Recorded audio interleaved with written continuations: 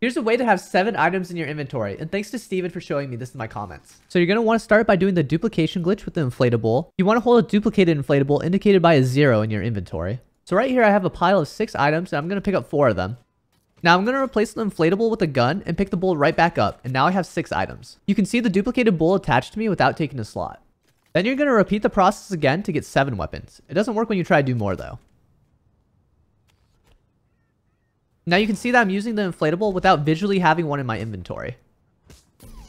And now I'm going to drop all the items in my inventory. A purple scar, a green AR, a gold pump, a P90, a fishing rod, a recon scanner, and the duplicated bull that's still attached to my inventory.